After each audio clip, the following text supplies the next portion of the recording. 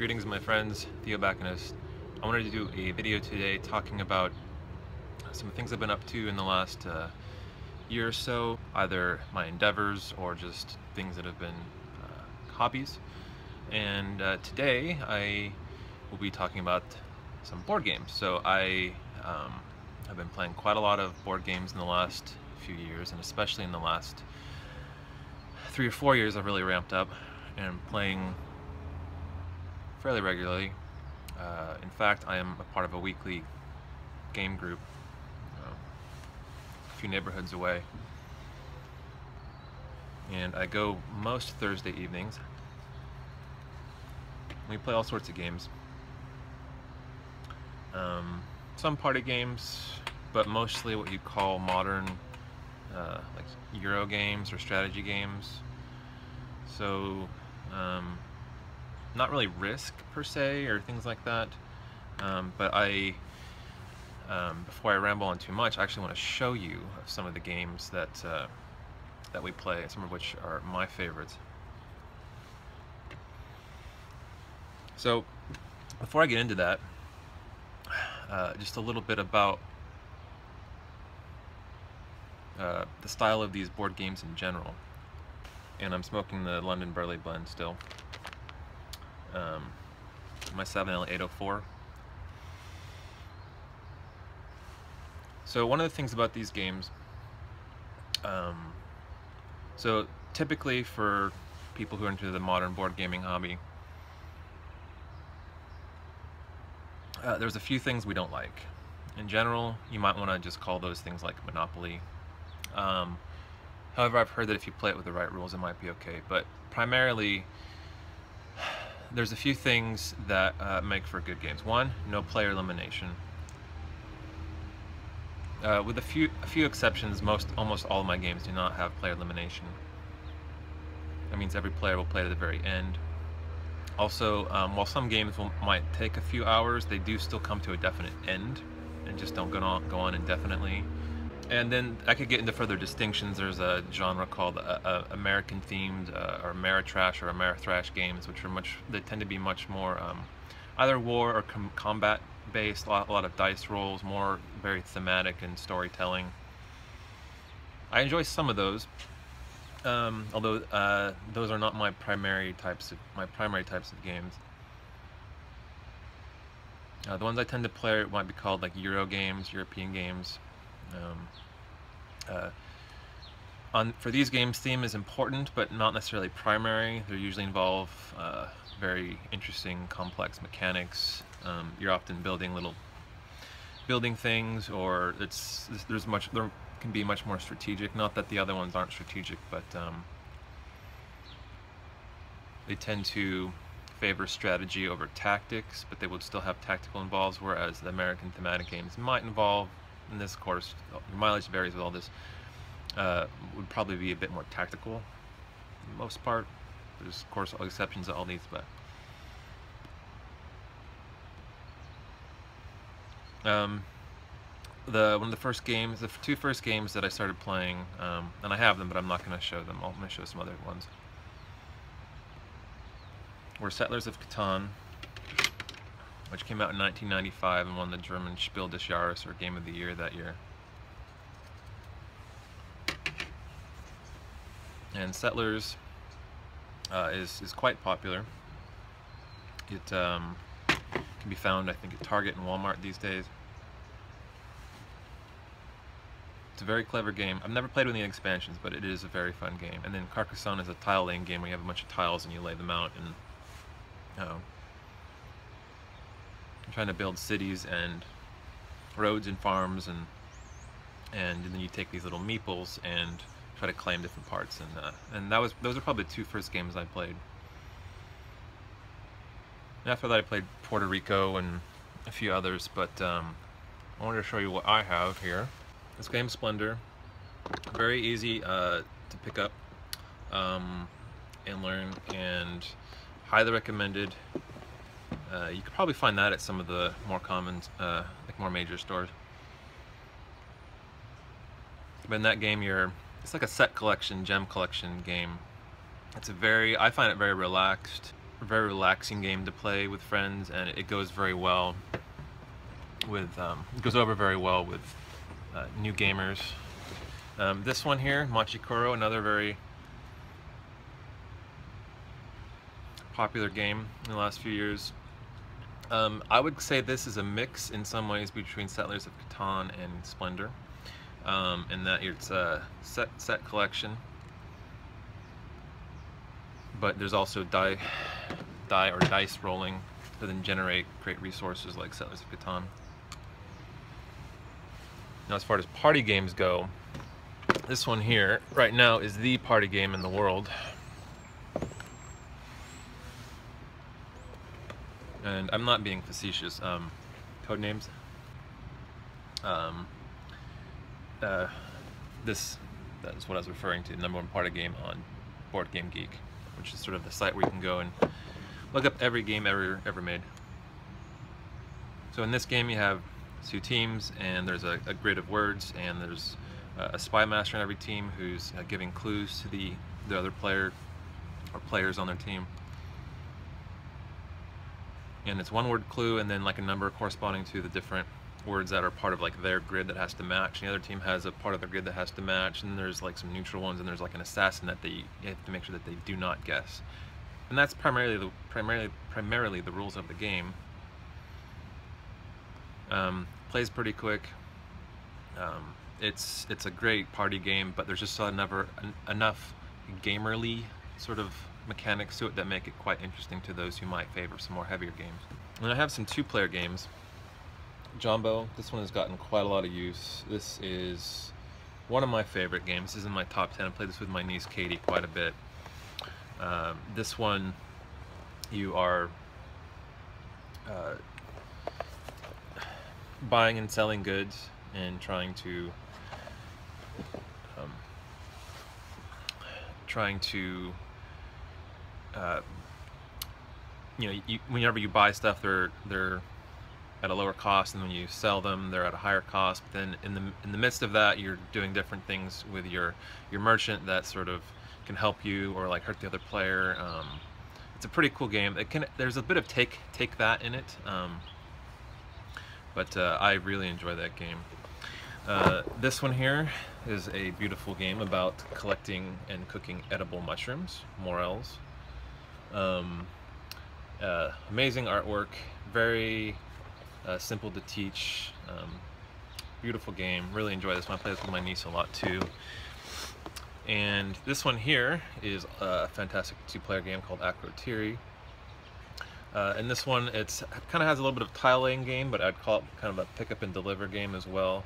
Um, an action selection uh, game or action point allowance game where you have a number of actions that you can use to then move your boat around and, and pick up resource, but you're also trying pick up resources, but you're also trying to um, you're also trying to like discover islands by a really clever um, location mechanic. I can't really explain it right now, but uh, uh, very, very cool game.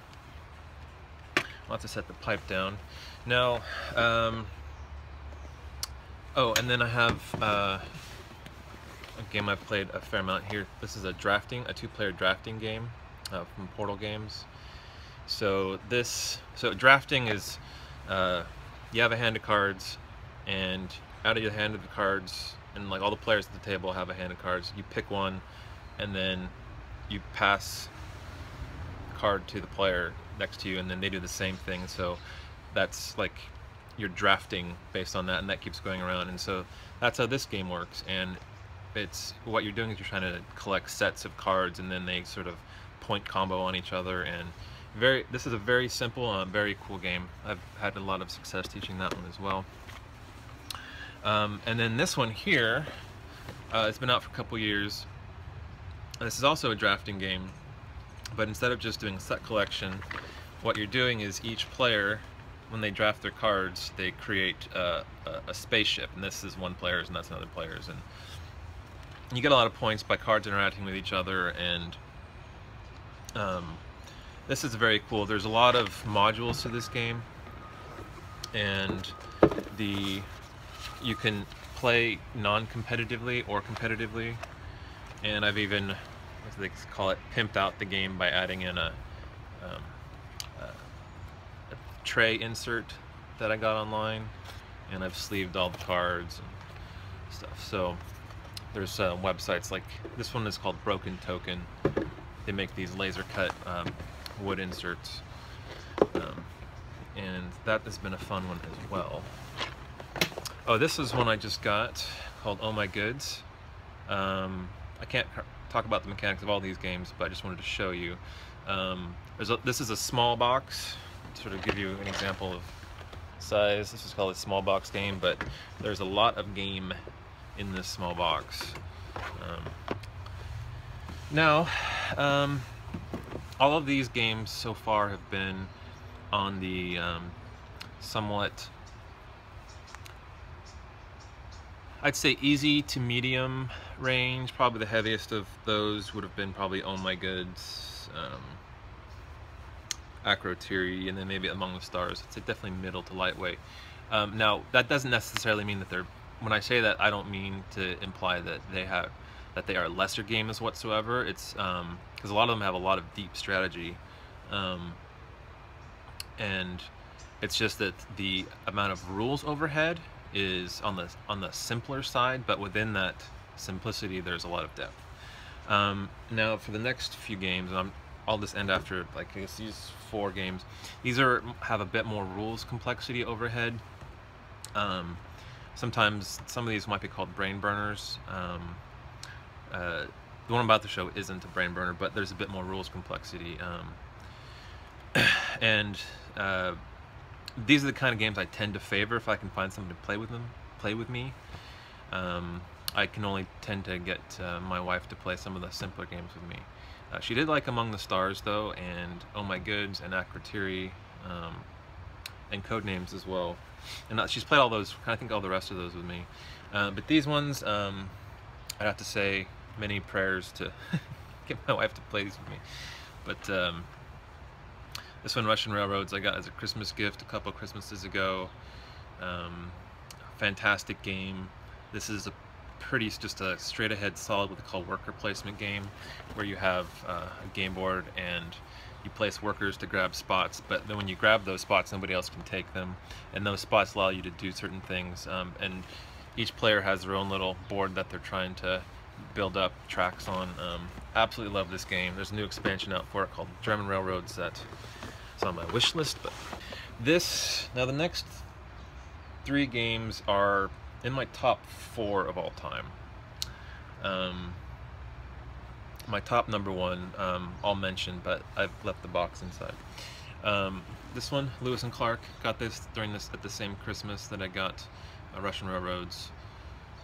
Absolutely adore this game. First of all, I love the artwork from Vincent Dutrait, um, a French artist. Uh, and the designer is also French. I think it's Cedric uh, Chaboussit. I don't know how to pronounce French, but um, this is an amazing game. It's ultimately a race game, and uh, the premise is that um, during um, the uh, the the expedition to discover like the West Coast um, with Lewis and Clark, uh, instead there's a bunch of different teams that have been sent out, and which uh, it's sort of like a slightly revisionist history, and as you as the different teams go out, basically you're competing to see who gets there first. So it's ultimately a race game, but but what drives the race is um, you are trying to collect resources um, and utilize like helps from the Native Americans. Uh, the game actually calls them Indians, probably to be uh, historically um, accurate as what they were called at the time, but the uh, Native Americans, like you have to um, ask them for help. Uh, you can't make it without their help. And there's also a deck that comes out of characters that you then add to your hand of cards. So it's a mix of like a, a little bit of a, um, I call it uh, uh, deck building sort of, if you're familiar with Dominion or Thunderstone or games like that. There's a little bit of that, but then also worker placement, and that can then combines uh, ultimately to um, there's a the board, but you're you're racing from St. Louis. Uh, I think this might be uh, yeah, you're racing from St. Louis, I think, over to Oregon coast. Amazing game, love it. Um, This one is probably one of the biggest game boxes I own. So I have a game designer crush on uh, Vital Lacerda, Lacerda, Lacerda. He's a, a Portuguese designer. This game, just for comparison, there's Lewis and Clark. and then, oh my goods. so the Gallerist. Um, in this game, you are a oh and there's also a kind of the box looks like you have a, a set of um, uh, what are these called um, not easels but um, the box looks like you have uh, some paintings all wrapped up um, and in this game and there's the full rules explanation explanation would probably take 20 minutes. But basically in this game you are uh, a gallery owner, a gallerist, and you're trying to entice visitors into your gallery and uh, and you're trying to discover artists, promote artists, um, uh, sell uh, as, as you discover artists, you buy artwork for them, and then as you promote them, the value of the art goes up, and then you sell their art based on the contract, and you're also uh, sending assistants into an international um, auction at the end of the game. Uh, crazy amazing game. Uh, a lot of uh, complexity, but also a lot of uh, really wonderful depth to this game, and some really clever mechanics as well. Um, this is, um, and these last, this game, Gallerist, and then Madeira, these are definitely brain burners. Um, these boards tend to have a lot going on on them there's quite a bit of things to manage. Um, and in Madeira, uh, you are trying to gather resources and um, complete different uh, goals that come out every every turn, and you do that by gathering resources um, from the land, um, also sort of colonizing cities and shipping things, and uh, there's a cool, some clever dice mechanics uh, in in the game. Um, uh, there's just sort of a lot going on, but this is just amazing. Like, I don't know, it kind of melts my brain, but it's it's like in a good way. I know that might not necessarily like appealing thing, but um, Madeira and the Gallerist, and then my number one game um, is also by Vital Lacerda called CO2, um, and that's just uh, that game blew me away when I first found it. I found it uh, on, a, on a discount rack because um, the box had some damage, but the insides were pristine. And uh, in that game, you are uh, trying to meet the uh, energy demands of the different continents around the world over the course of uh, four or five decades. Um, and you do that by replacing uh, fossil fuel, um, like bad polluting power plants with more energy efficient ones. And there's sort of a co-op nature to the game as well, like a semi-co-op, but you're still ultimately trying to be the best uh, energy company. Um, and that is, those at least my top three games at the moment. Um, I'm always playing new ones. Um, but uh, this is something that I really enjoy doing. Uh, I enjoy the player interaction. I don't play video games anymore, um, almost, except for maybe like an app here or there.